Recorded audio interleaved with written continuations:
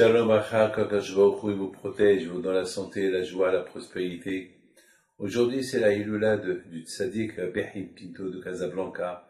Que son zérout soit avec vous, Keneratson. Alors, c'était quoi la grandeur de Rabbi Pinto de Casablanca? On connaît beaucoup sur lui. Et surtout, ce qu'on connaît sur lui, c'est l'aide qu'il a portée aux nécessiteux. C'est quelqu'un que chaque jour,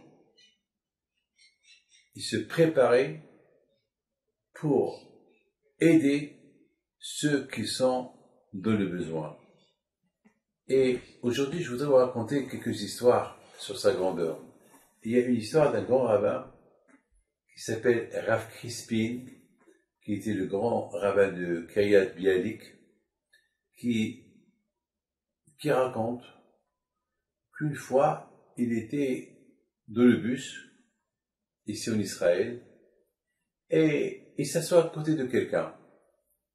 Bon, vous savez, lorsqu'on s'assoit à côté de quelqu'un et il y a deux heures ou trois heures de route, finalement, les deux, ils ont commencé à parler à gauche, à droite, et à un moment donné, ils se sont rendus compte que les deux, ils sont d'origine du Maroc.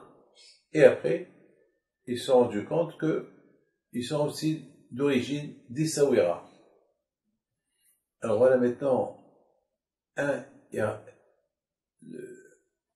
le, celui qui était à côté de Rav Crispin, il était gradé de l'armée israélienne. Il lui raconte, il lui dit, mon père un jour, avant, euh, il était chauffeur dans une compagnie au Maroc. Il faisait transport à cette époque là-bas. Il y avait la guerre.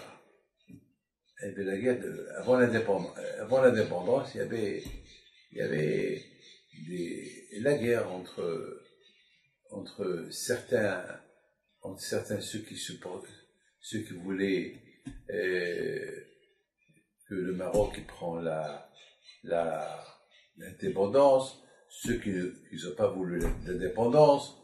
Donc il y avait, enfin, il y avait du, du, terrorisme donc il y a de partout. Et, et c'était une époque un peu dangereuse, surtout prendre la route la nuit. Alors, une fois mon père, à la Shalom, il devait voyager samedi soir, et sa mère lui dit, mon fils, avant de voyager, je veux te prendre chez Rabbi te fait le bracha. Alors, il raconte, il dit, mon père, au départ, il a dit, maman, euh, euh, maintenant j'ai pas beaucoup de temps, elle a insisté, mon fils, tu insistes. J'insiste, je veux que tu viennes. Bon, il écoute sa mère, il va avec sa mère, et lorsque il rentre sur Rabbi Pito. Rabbi lui fait la bracha. Bon voyage mon fils, bon aller-retour. Mais je te conseille, achète une djellaba. Et avec un tarbouche parce qu'il fait froid. Alors, euh, il lui dit d'accord. Mais lorsqu'il sort, il dit à sa mère, maman, qu'est-ce que je vais faire avec une djellaba Moi, je suis européen, je veux le costume. Et lui dit sa mère, si Rabbi Pito t'a dit d'acheter une djellaba, qu'est-ce que tu perds? Il t'a dit d'acheter une djellaba, un tarbouche. Tu payes rien du tout. Achète. Elle a insisté. Bon, maman, d'accord. De toute façon, tu es chauffeur. Qu'est-ce que tu, perds de prendre la djellaba Elle met là à côté de toi. Bon, maman, d'accord. Et ils sont partis au souk. Ils savaient à l'époque, les souks, étaient encore ouverts. Ils achètent une djellaba avec un tarbouche. Et vers minuit, ben, ils prennent la route pour le voyage ils ont prévu, c'était prévu, qu'ils s'arrêtent dans un endroit euh, où là-bas c'est en sécurité. Parce qu'à partir de, de là-bas, il y avait des terroristes à gauche et à droite. Donc ils s'arrêtent dans un endroit, il faisait froid. Bizarre, il faisait froid. Donc euh, le, le, le cutscene de monsieur qui raconte, il dit, ben, Rabbi Himpido, il a bien vu. Il fait froid. Bon, j'ai porté la djellaba Et, le tarbouche, bah, c'est vraiment, il faisait froid. Parce que tout le monde devait passer la. À l'époque, il n'y avait pas des. Il n'y avait que des camions qui, qui s'arrêtaient, mais il n'y avait pas des hôtels, il n'y avait rien du tout. Il met sa là-bas, il met le tarbouche, il s'endort.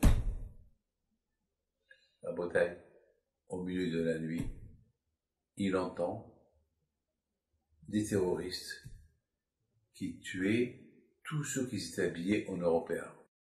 Pour eux, c'est des Européens, c'est ceux-là qui ne veulent pas donner l'indépendance, et tous ceux qui portent une djellaba, pour eux, c'est un Marocain et ils l'ont pas tué. Voilà la Bretagne, l'histoire. Et le monsieur dit à, Rav Crispin, c'est Rav Crispin a raconté cette histoire à mon frère Rabbi Haïm. Il lui dit, regarde la grandeur de Rabbi Haïm Pinto. Il savait, que mon père, il devait mourir. Il savait ce qui allait arriver. Donc, il a donné le conseil de, porter la djellaba. Et c'est cette djellaba qu'elle a, qu'elle a pu sauver la vie. Alors, alors Crispin, lorsqu'il écoute cette histoire, il dit, ça c'est la grandeur de cette sadikim, comment ils voyaient, ils voyaient tout devant eux. Quand j'aurais leur donné une voyance, une clairvoyance, de voir ce que nous on ne peut pas voir. Ça veut dire que nous, nous on voit uniquement ce qu'on voit, c'est tout. Les sadikim, ils voient ce que nous on ne voit pas. Ils voient ce que nous on ne voit pas. n'oubliez pas que l'origine de cette voyance était déjà la création du monde. Lorsque Hachem il a créé le monde, Hachem il a créé une lumière. Et nos sages disent, mais c'est quoi cette lumière? On ne parle pas de la lumière du soleil. Non, une lumière. Et elle est où cette lumière eh ben, Hachamim disent que cette lumière, le bon Dieu il a vu que cette lumière, ils vont l'utiliser les gangsters, ils vont l'utiliser les voleurs, ils vont l'utiliser les gens pour faire du mal avec. Alors Rachid, qu'est-ce qu'il a fait? Il a pris cette lumière il l'a cachée. Et celui qui a le mérite, alors il voit à travers cette lumière. Il y a Bahashem Tov qui dit, certains tzaddik ils disent que cette lumière, elle est cachée dans la Torah. C'est ce qu'on appelle la lumière de la Torah. Lorsqu'on découvre des secrets de la Torah, c'est grâce à cette lumière-là.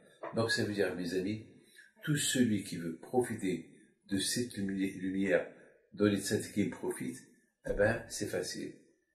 Respecter Torah et Mitzvot. Ça, c'est l'une des belles histoires que j'ai écoutées sur mon grand-père Rabbi Pito à la Sachez une chose, Rabbi Pito, celui qui est enterré à Casablanca, on a vu un miracle.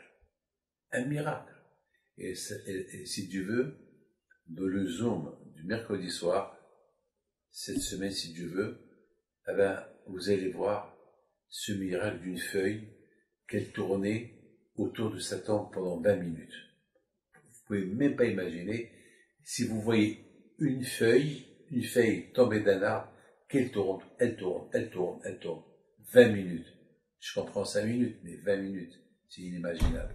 Que le bon Dieu protège jamais le création. Et très bientôt.